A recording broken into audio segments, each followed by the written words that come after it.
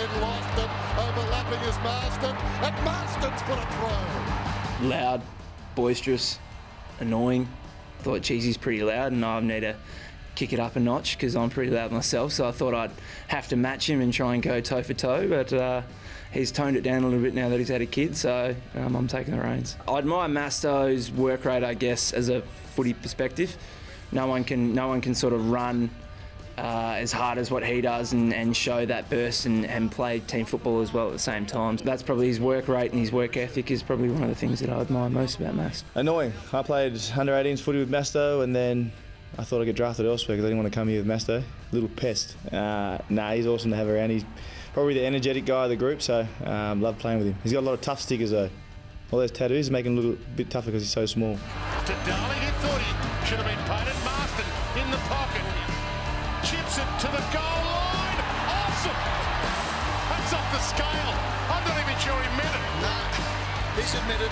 Masto is a great guy, full of energy. Um, he's got the tats. He's got fashion sense. He's cool, but underneath all that, he's a real, he's a lover, and I think that's, that's what people love about him. Is he cares, he cares about his teammates as much as anyone. Top three pick and helped us bring bring our fourth premiership. His energy, his I suppose his spark he can bring to groups, um, especially when things have been tough at times. Um, his energy has been able to lift the group and get us in a better mindset and better mood, I suppose, to tackle into training or whatever we've got coming up. And uh, you know, he's not only done good things on the field, he, he, does a lot of good stuff off the field, especially for our group. He brought down Priddis, clever hands to Masten. Oh, that was brilliant in a shoebox. I don't know how we gravitated toward it, towards each other, but we did. Yeah, he helped me out a lot when I was a young, young bloke coming through.